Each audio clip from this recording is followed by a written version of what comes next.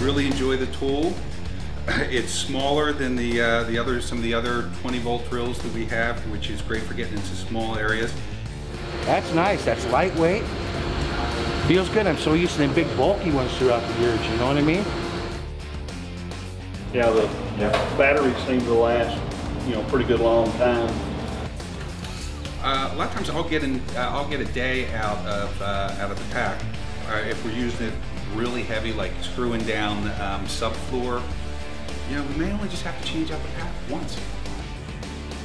Didn't take much at all either, so it's got that nice little finesse point to it. Uh, it's got a nice clutch function.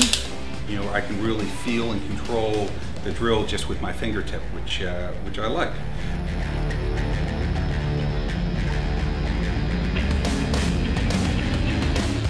Yeah, it's a great drill. I love the product. I really do.